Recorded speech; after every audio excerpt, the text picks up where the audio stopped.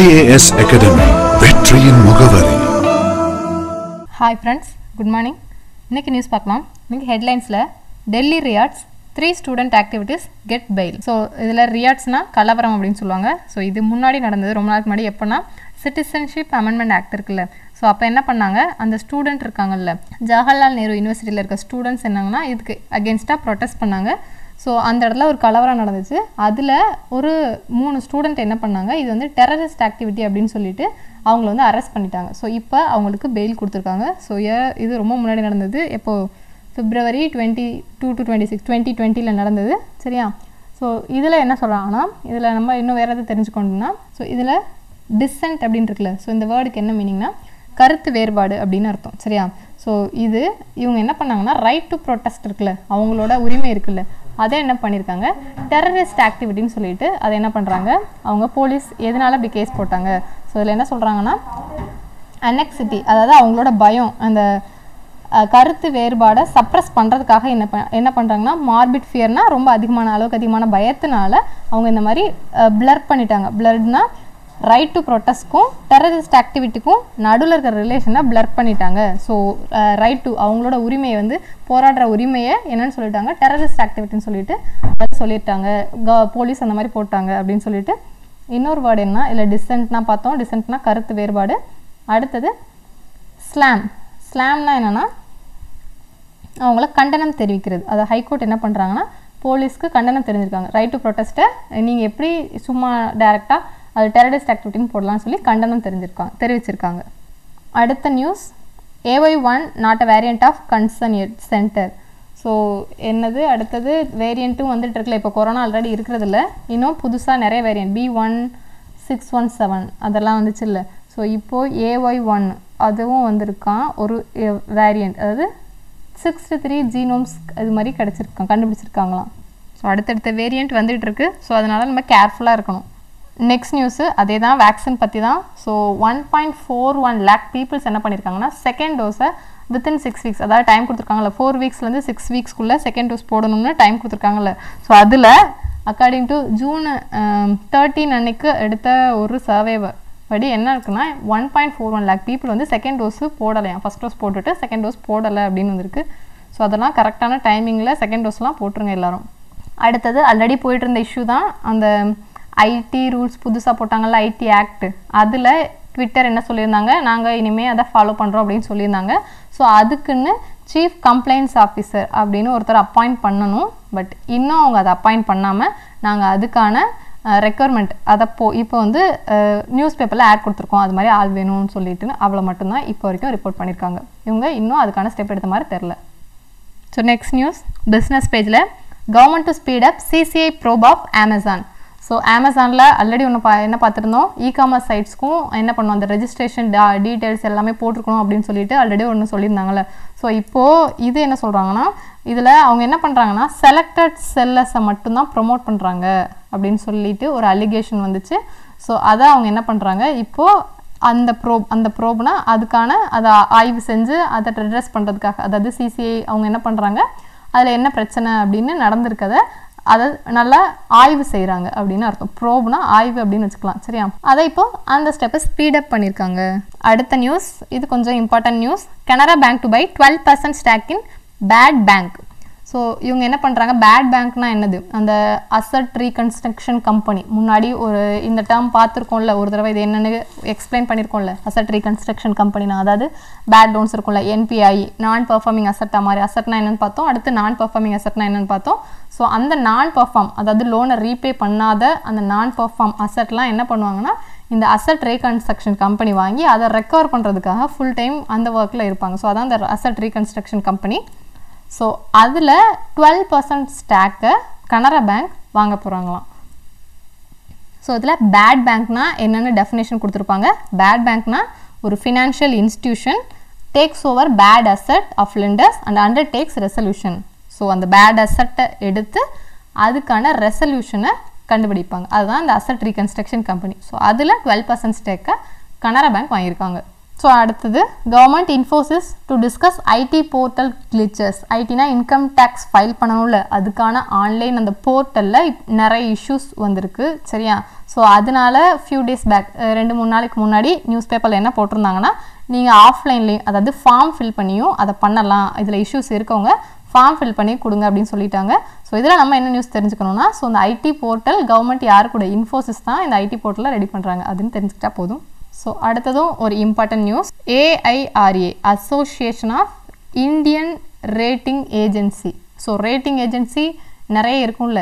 So அவங்க எல்லாம் ஒரு அசோசியேஷன் உருவாக்க போகிறாங்க அதான் AIRA association of Indian rating agency so இப்போ ஸ்டார்டிங்கில் எந்தெந்த ஏஜென்சி இருக்குன்னா ஒன்று care ரேட்டிங்கும் Acuite rating and research limited இவங்க ரெண்டு பேரும் ஜாயின் பண்ணியிருக்காங்க. இன்னும் ரெண்டு ஏஜென்சியும் கிரெடிட் சிஆர்ஏனா கிரெடிட் ரேட்டிங் ஏஜென்சி அவங்களும் சீக்கிரமாக ஜாயின் பண்ண போகிறாங்க அடுத்த நியூஸ் ரிலையன்ஸ் ஹோம் ஃபினான்ஸில் ஆத்தம் என்ன பண்ணுறாங்கன்னா இன்வெஸ்ட் பண்ண போகிறாங்க ஆத்தம்ங்கிறது ஒரு NBFC non banking financial company next news world news US Russia ties are at an impasse Kremlin official சரியா? ஸோ இதில் லாஸ்ட்டாக யூஎஸ் பிரசிடெண்ட்டும் ஜோ பிடனும் ரஷ்யன் பிரசிடென்ட் விளாடிமிர் புட்டனும் நிறைய டைஸ் போடுறதுக்கு ஒரு மீட்டிங் பேசினாங்க. ஸோ அதில் நிறைய பாசிட்டிவ் ரெஸ்பான்ஸ் இருந்துச்சு. இப்போது அதில் இம்பேஸ் இம்பாஸ்னால் முட்டுக்கட்டை அப்படின்னு அர்த்தம். ஸோ அதில் ஒரு முட்டுக்கட்டை இருக்குது அப்படின்னு சொல்கிறாங்க ஸோ இது என்ன சொல்கிறாங்கன்னா இதில் இன்னொரு வேர்டு என்னென்னா எய்டு எய்டுன்னு இருக்குல்ல நம்ம எய்டு படிச்சிருப்போம். ஏஐடி எய்டு எய்டுனா என்னென்னா உதவின்னு அர்த்தம். சரியா? ஏஐடினா உதவியாளர். அந்த பர்சன் இருப்பாங்கல்ல ஏஐடினா உதவியாளர். எய்டுனா உதவி ஏஐடினா உதவியாளர். அது இல்லாமல் இம்பாஸ் அப்படின்னா என்ன அர்த்தம்னா முட்டுக்கட்டைன்னு அர்த்தம். ஸோ இந்த இம்பாஸ் என்ன ஆகும்னா அடுத்தது இந்த வீக்கில் சுவிட்சர்லாண்டில் ஒரு சம்மிட் இருக்குது ஸோ அதில் அதில் போய் அவங்க ரெண்டு பேரும் மீட் பண்ணி பேசினா இந்த டென்ஷன்லாம் குறைஞ்சிரும். ஸோ அந்த ரெண்டு பேருக்கான டைஸ் வந்து இன்னும் நல்லா இருக்க சான்ஸ் இருக்குது அப்படின்னு சொல்கிறாங்க அடுத்த news statement by NATO is slander China ஸ்லாண்டர்னா என்ன அர்த்தம்னா அவங்கள வந்து அவதூறு பண்ணுற மாதிரி பேசுகிறது அப்படின்னு அர்த்தம். அதாவது சைனாவோட பேரை கெடுக்கிறதுக்காக தான் இந்த மாதிரி பேசுகிறாங்க ஸோ நேட்டோ ஸ்டேட்மெண்ட் என்ன சொன்னாங்கன்னா செக்யூரிட்டி சேலஞ்ச் சைனா வந்து ஒரு செக்யூரிட்டி சேலஞ்ச் அப்படின்னு சொல்கிறாங்க செக்யூரிட்டி சேலஞ்ச்னால் அவங்க என்ன பண்ணுறாங்கன்னா அடுத்த கண்ட்ரிஸோட அந்த டேட்டா மெயில் அந்த இன்டர்நெட்டை ஹேக் பண்ணுறது அந்த மாதிரி வேலையில் இருக்குன்ற மாதிரி அவங்கள சொன்னாங்க. ஸோ இதை சைனா என்ன சொல்கிறாங்கன்னா இது slander on China's peaceful development சைனாவோட அமைதியான டெவலப்மெண்ட்டுக்கு அவதூறு பரப்புகிற மாதிரி இருக்குது அப்படின்னு சைனா சைட்லேருந்து சொல்லியிருக்காங்க. ஸோ அதே மாதிரி நேட்டோ இன்னும் அந்த கோல்டு வார் மென்டாலிட்டிலேருந்து வெளியே வர மாட்டேங்கிறாங்க அப்படின்னு சைனா வந்து அந்த நேட்டோவை அக்யூஸ் பண்ணுறாங்க so next news IICT inks pact with pharma firms for two DG so two DG இந்த வேக்சின் ஆன்டி கோவிட் ட்ரக் இருக்குல்ல டூ டிஜி ஸோ இதை மேனுஃபேக்சர் பண்ணுறதுக்கு IICT Indian Institute of Chemical Technology அவங்க Anthem bioscience ஒரு Bangalore based கம்பெனியோட pharma pharmaceutical கம்பெனியோட அவங்க type வச்சுருக்காங்க. ஐஐசிடியும் ஆன்தம் பயோசைன்ஸ் ப்ரைவேட் லிமிடெட் எதுக்காக?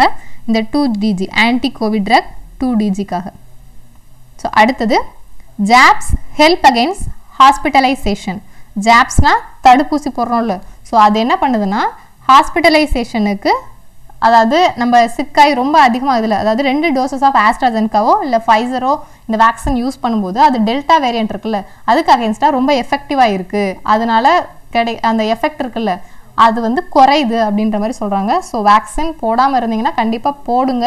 எதனாலனா இப்போ வேரியன்ட் டூலாம் வந்துச்சுன்னா இப்போ வேரியன்ட் ஒன் இருக்குது அதுக்காக தான் இப்போ வேக்சின் போடுறோம். ஸோ வேக்சின் போட்டால் ஓரளவு அதோட எதிர்த்து போட முடியும். ஸோ அதுவே பண்ணாமல் இருந்தீங்கன்னா செகண்ட் வேரியன்ட் இதை விட ரொம்ப அதிகமான ஒரு எஃபெக்டோடு தான் வரும். அது அதோட தாக்கம் இன்னும் அதிகமாக இருக்கும் நம்மளுக்கு. ஸோ வேக்சின் போட்டால் தான் ஓரளவு அதுலேருந்து கொஞ்சம் பாதுகாப்பாக இருக்க முடியும். ஸோ அடுத்தது government confirms first death from reaction to vaccine so அடுத்த இப்போ தான் வெரி ஃபஸ்ட்டாக அந்த வேக்சின் போட்டதுனால ஒரு டெத் நடந்திருக்குன்னு கவர்மெண்ட் ஃபஸ்ட்டு ஃபஸ்ட்டு கன்வர் கன்ஃபார்ம் பண்ணியிருக்காங்க. ஸோ இது முன்னாடியே அமெரிக்காவில் அந்த கோவிஷீல்டு இருக்குல்ல ஆஸ்ட்ராசென்கா ஸோ அந்த வேக்சின் போகிறதுனால பிளட் கிளாட் ஆகி அதுவும் எவ்வளோனா ஒன் மில்லியனில் ஒரு பர்சன் அவங்களுக்குலாம் பிளட் கிளாட் இறந்துருக்காங்கன்னு சொல்லியிருக்காங்க. ஸோ இங்கே இப்போது இந்தியாவில் வெரி ஃபஸ்ட்டாக இப்போ தான் அந்த வேக்சினால் ஒரு டெத்தை கன்ஃபார்ம் பண்ணுறாங்க மற்றதெல்லாம் அதாவது அந்த ரூல்ஸை ஃபாலோ பண்ணாமல் இருக்கும். அதாவது அவங்களுக்கு வேறு ஏதாவது கோமார்பிட்டிஸ் இருந்துச்சுன்னா வேறு ஏதாவது உடல் உபாதைகள் ஏதாவது இருந்துச்சுன்னா அந்த டைமில் வேக்சின் போட்டால் என்ன ஆகும்னா அந்த மெடிசன் அது எல்லாத்தையும் ஒரு எக்ஸாம்பிளுக்கு இப்போ ஒருத்தவங்களுக்கு டயபெட்டிஸ் இருக்குன்னா அவங்க என்ன பண்ணணும்னா அதை கண்ட்ரோல் லெவலில் வச்சுட்டு அதுக்கப்புறம் தான் இதெல்லாம் ஃபாலோ பண்ணணும். அந்த வேக்சின் போடுறதெல்லாம். ஸோ இவங்க என்ன பண்ணுவாங்கன்னா வேக்சினையும் போட்டுட்டு அந்த டயபெட்டிஸ் அதிகமாக இருக்கோ இல்லை கம்மியாக இருக்கோ அதுக்கான வேக்சின் மருந்தையும் எடுத்துக்கிட்டாங்கன்னா அதனால அது ரியாக்ஷன் தப்பாக இருக்கும் அந்த மாதிரி தான் நிறையா இருக்குது அது இல்லாமல் இன்னொரு முக்கியமானது குடிக்கிறவங்க. குடிப்பழக்கம் இருந்துச்சுன்னா அவங்களால என்ன பண்ண முடியாது. ஸ்டாப் பண்ண முடியாது. ஸோ வேக்சின் போட்டுட்டு அதுவும் பண்ணும்போது ஸோ அது வந்து அஃபிஷியலாக இன்னும் அந்த மாதிரி அனௌன்ஸ் பண்ணலை. அதாவது குடிக்கிறதுனால இந்த வேக்சினுக்கு அஃபெக்ட் ஆகும் அப்படின்னு அஃபிஷியலாக அனௌன்ஸ் பண்ணலை. பட் இன்னும் அது ப்ரூவ் ஆகலை அவ்வளோதான் சரியா? ஸோ அதனால் அந்த மாதிரி அவங்க சொல்கிற ரூல்ஸ் எல்லாம் ஃபாலோ பண்ணி இருந்தோன்னா இதெல்லாம் குறைக்கலாம். ஸோ நெக்ஸ்ட்டு கார்ட்டூன் பார்க்கலாம். ஸோ கார்ட்டூனில் என்ன போட்டிருக்காங்கன்னா ஸோ இப்போ already first wave second wave முடிஞ்சிருச்சு. அடுத்தது தேர்ட் வேவை எக்ஸ்பெக்ட் பண்ணுறாங்க வரப்போகுது சரியா? அந்த வேவ் எப்படி இருக்கும்? இதுக்கு முன்னாடி இருக்கிறத விட கண்டிப்பாக அதோட எஃபெக்ட் அதிகமாக தான் இருக்கும். அதாவது நிறைய பேருக்கு பரவும். நிறைய அடுத்த வேரியண்ட்லாம் வந்துச்சுன்னா இன்னும் சிவியராக இருக்கும். ஸோ இதை இதுக்காக இப்போ என்ன பண்ணுறாங்க எல்லாருமே தேர்ட் வேவ் வந்து ரொம்ப பிகர் அந்த மாதிரி நியூஸ் எல்லாம் ரொம்ப அதிகமாக இருக்குது தேர்ட் வேவ் வந்து ரொம்ப ஸ்ட்ராங்காக இருக்கும். ரொம்ப டே டிசாஸ்ட்ரஸாக இருக்கும். நிறைய பேரழிவுகளை கொண்டு வரும் அப்படின்னு சொல்கிறாங்க ஸோ இதுக்கு என்ன பண்ணுறாங்கன்னா இந்த வடிவேல் ஒரு படத்தில் சொல்லுவாங்கல்ல அதாவது என்ன அண்ணன்ட்ட இவ்வளோ கேட்குறியே ஆனால் உனக்கு என்ன தர முடியும் எனக்கு தெரிலன்னு ஸோ இந்த மாதிரி நீங்கள் ரொம்ப இதெல்லாம் சொல்கிறீங்களே எனக்கு பயமாக இருக்குது உங்களோட எக்ஸ்பெக்டேஷனை மீட் பண்ண முடியுமா அப்படின்னு கொரோனாவே பயப்படுது. அதாவது வரப்போகிறது அதிகமான வேவ் தான். பட் நம்ம அதை நினச்சி ரொம்ப அதிகமாக பயப்படுறோம் அப்படின்ற மாதிரி இதில் சொல்கிறாங்க அடுத்தது எடிட்டோரியல் பார்க்கலாம். த இன்விசிபிள் டேக்ஸ் இன்விசிபிள் டேக்ஸ்னால் கண்ணுக்கு தெரியாத டேக்ஸ் அதாவது லாஸ்ட்டாக அந்த கோவிட் ட்ரக்ஸ் அதுக்கெல்லாம் என்ன பண்ணாங்க? ஜிஎஸ்டியை குறைக்க தான் செஞ்சாங்க. ஸோ அதெல்லாம் பார்த்தா குறையிற மாதிரி தான் தெரியுது. பட் இன்விசிபிள் கண்ணுக்கு தெரியாமல் டேக்ஸ் என்ன இருக்குன்னா இன்ஃப்ளேஷன் அதிகமாகிறத அந்த மாதிரி சொல்கிறாங்க எம emergent action is needed to rein in inflation rein in இன்ஃப்ளேஷன்னா limit பண்ணுறது இல்லைனா கண்ட்ரோல் பண்ணுறது இன்ஃப்ளேஷனை கண்ட்ரோல் பண்ணுறது as people face income losses medical cost so இப்போ பீப்புளுக்கு ரெண்டு இம்பார்ட்டன்ட் ப்ராப்ளம் ஒன்று இன்கம் லாஸ் வேலை இல்லை நிறைய பேர் ஒர்க் ஃப்ரம் ஹோம் அந்த மாதிரி சில பேர் இருக்காங்க. இன்னும் சில பேருக்கு அந்த ஒர்க்கே நடக்கலைன்னா அந்த ப இப்போ எல்லாம் கொரோனாவில் ஸ்டாப் பண்ணி வச்சுருக்காங்களா இப்போ கடையெல்லாம் மூடி இருக்கணும்னா அவங்களுக்கு எப்படி இருக்குது இன்கம் கிடையாது. Income loss plus medical class அது மட்டும் இல்லாமல் அவங்க என்ன பண்ணணும்? இப்போ மெடிக்கல் காஸ்ட்டும் அவங்க ஸ்பெண்ட் பண்ண வேண்டியிருக்கு. ஸோ இது ரெண்டும் என்ன பண்ணுறது இன்ஃப்ளேஷனை கண்ட்ரோல் பண்ணணும் அப்படின்னு சொல்கிறாங்க ஸோ இதில் இந்த செகண்ட் வேவ் வந்து சப்சைடட் சப்சைடட்னா லெஸ் இன்டென்ஸ் இன்டென்ஸ் அந்த சை முன்னாடி இருந்ததை விட கொஞ்சம் இன்டென்சிட்டி கம்மியாக இருக்குது இப்போ டக்குன்னு குயிக்காக முடிஞ்சிருச்சுல்ல. ஸோ லாஸ்ட் டைம் விட இப்போது கொரோனா ஒன்ல இருந்தப்போ நிறைய லாக்டவுன்ஸ் போட்டு நிறைய ஷா இதெல்லாம் பண்ணி கொண்டு வந்தோம். ஸோ இப்போது இது கொஞ்சம் இன்டென்சிட்டி கம்மியாக இருக்குது அதனால எக்கனாமியில் ஒரு ஸ்மூத்தான ரீபோன் கிடைக்கும். இன் டேண்டம் டேண்டம்னா ஒன் பை ஒன் ஒன்று ஒன்றா அதாவது இப்போ ரெஸ்ட்ரிக்ஷன்லாம் என்ன பண்ணுறாங்க ஒன்று ஒன்றா குறைச்சிட்டு வர்றாங்கல்ல.